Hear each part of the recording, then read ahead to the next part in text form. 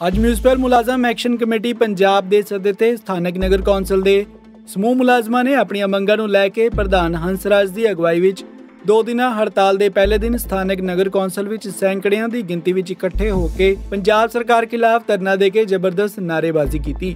ਇਸ ਮੌਕੇ ਪ੍ਰਧਾਨ ਹੰਸਰਾਜ ਨੇ ਆਪਣੇ ਸੰਬੋਧਨ ਵਿੱਚ ਕਿਹਾ ਕਿ ਪੰਜਾਬ ਸਰਕਾਰ ਕਰਮਚਾਰੀਆਂ ਦੀਆਂ ਹੱਕੀ ਮੰਗਾਂ ਨੂੰ ਅਣਗੌਲਿਆਂ ਕਰ ਰਹੀ ਹੈ। ਹੰਸਰਾਜ ਨੇ ਪੱਤਰਕਾਰਾਂ ਨਾਲ ਗੱਲਬਾਤ ਕਰਦਿਆਂ ਕਿਹਾ ਕਿ ਮੇਰਾ ਨਾਮ ਹੰਸਰਾਜ ਜ਼ਿਲ੍ਹਾ ਪ੍ਰਧਾਨ।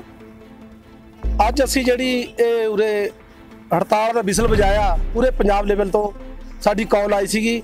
ਉਸ ਦੌਰਾਨ ਅਸੀਂ ਜਿਹੜਾ ਅੱਜ ਸਮੂਹ ਜਥੇਬੰਦੀਆਂ ਇਕੱਠੇ ਹੋ ਕੇ, ਸਤਪਾਲ ਜੀ, ਜਸਵੀਰ ਜੀ, ਸੁਸ਼ੀਲ ਜੀ, ਸੰਜੀਵ ਜੀ, ਅਸੀਂ ਸਾਰੇ ਇਕੱਠੇ ਹੋ ਕੇ ਇੱਕ ਮੰਚ ਬਣਾ ਕੇ ਅੱਜ ਹੜਤਾਲ ਦਾ ਵਿਸਲ ਵਜਾਇਆ ਕਿ ਦੋ ਦਿਨਾਂ ਦੀ ਜਿਹੜੀ ਹੜਤਾਲ ਆ ਸਾਡੀ ਸਫ਼ਾਈ ਕਰਮਚਾਰੀਆਂ ਦੀ, ਉਹ ਇਸ ਤਰ੍ਹਾਂ ਹੀ ਜਾਰੀ ਰਹੇਗੀ। ਪੂਰਾ ਮੁਕੰਮਲ ਅਸੀਂ ਸਫ਼ਾਈ ਕਰਮਚਾਰੀਆਂ ਨੇ ਕੰਮ ਬੰਦ ਕਰਿਆ ਹੋਇਆ। ਕੱਲ ਤੱਕ 18 ਤਰੀਕ ਤੱਕ ਇਸ ਤਰ੍ਹਾਂ ਹੀ ਰਹੇਗਾ।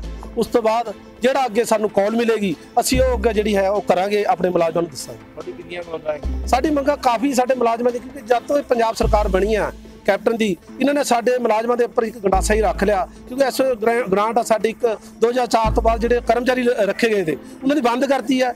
ਉਹ ਪੈਨਸ਼ਨ ਪੈਨਸ਼ਨ ਸਕੀਮ ਨਾ ਪੁਰਾਣਿਆਂ ਨੂੰ ਲਗਾਈ ਕੀਤੀ ਆ, ਉਹ ਨਾ ਕਿਉਂਕਿ ਕੋਰਟ ਦਾ ਫੈਸਲਾ ਸੀਗਾ, ਨਾ ਉਸ- ਉਹ ਲਾਗੂ ਕੀਤਾ, ਨਾ 2004 ਤੋਂ ਬਾਅਦ ਜਿਹੜੇ ਨਾ ਉਹਨਾਂ ਨੂੰ ਲਾਗੂ ਕੀਤਾ ਗਿਆ। ਕਿਉਂਕਿ ਸਾਡੋ ਜਿਹੜੀ ਹੈਗੀ ਆ, ਹੋਰ ਬਹੁਤ ਸਾਡੀ ਮੰਗਾਂ ਐਸੀ ਹੈਗੀਆਂ ਆ, ਸਰਕਾਰ ਡੀਏ ਦੀ ਕਿਸ਼ਤਾਂ ਜਿਹੜੀ ਸਾਡੀ ਪੈਂਡਿੰਗ ਪਈਆਂ, ਦਿਨੇ ਚੌਥ- ਅਹ ਚੌਥੀ ਸਾਡੀ ਡੀਏ ਦੀ ਕਿਸ਼ਤ ਹੋ ਗਈ।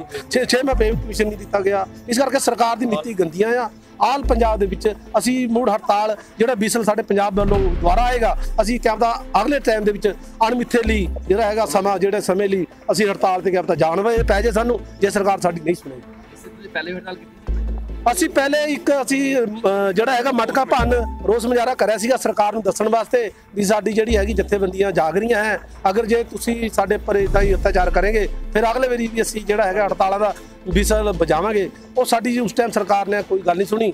ਅਸੀਂ ਮਹਾਰਾਣੀ ਪ੍ਰਨੀਤ ਕੌਰ ਪੈਲਸ ਦੇ ਵਿੱਚ ਪੈ- ਫੋਨ ਕਰਿਆ ਸੀਗਾ ਮੀਟਿੰਗ ਵਾਸਤੇ। ਕੈਪਟਨ ਸਾਹਿਬ ਦੇ ਕੋਠੀ ਚੰਡੀਗੜ੍ਹ ਗਏ। ਉਹਨਾਂ ਨੇ ਸਾਨੂੰ ਵਿਸ਼ਵਾਸ ਦਿਆ ਵੀ ਤੁਹਾਨੂੰ ਟਾਈਮ ਦੇਵਾਂਗੇ ਗੱਲ ਕਰਨ ਵਾਸਤੇ। ਉੱਥੇ ਗਿਆ ਉਹਨਾਂ ਨੇ ਜਵਾਬ ਦਿੱਤਾ ਵੀ ਅਸੀਂ ਮੁਲਾਜ਼ਮਾਂ ਦੇ ਹਜੇ ਹੱਕ 'ਚ ਕੋਈ ਗੱਲ ਨਹੀਂ ਕਰਨੀ। ਇਸ ਕਰਕੇ ਸਾਨੂੰ ਜਿਹੜਾ ਹੜਤਾਲ ਦਾ ਵਿਸਲ ਸਾਡੇ ਪੰਜਾਬ ਲੈਵਲ ਤੋਂ ਵਜਾਇਆ ਗਿਆ। ਅੱਗੇ ਦਾ ਦੇਖਾਂਗੇ ਸਮਾਂ ਜਿਹੜਾ ਜਿਸ ਤਰ੍ਹਾਂ ਦਾ ਆਏਗਾ, ਉਸ ਤਰ੍ਹਾਂ ਨਿਪੜਾਂਗੇ ਰਾਜਪੁਰਾ ਤੋਂ ਦਿਨੇਸ਼ ਸਚਦੇਵਾ ਦੀ report ATV news latest news ਸਭ ਤੋਂ ਪਹਿਲਾਂ ਆਪਣੇ ਫੋਨ ਤੇ ਵੇਖਣ ਲਈ। ਸਾਡਾ ਚੈਨਲ ਸਬਸਕ੍ਰਾਈਬ ਕਰੋ ਅਤੇ ਨੋਟੀਫਿਕੇਸ਼ਨ ਲਈ ਬੈਲ ਆਈਕਨ ਜ਼ਰੂਰ ਦਬਾਓ।